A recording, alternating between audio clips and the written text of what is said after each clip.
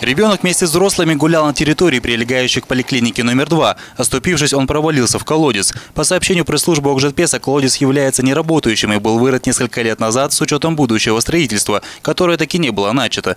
Как отметили в Окжетпесе, по акту раздела границ колодец находится на балансе родильного дома, который и несет ответственность в том числе и за то, что на нем отсутствовала крышка. В родильном доме эту информацию опровергают, говоря, что к данному объекту никакого отношения не имеют. Тем не менее, вчера, 17 сентября, на колодце крышка все же была установлена сотрудниками Окжетпеса.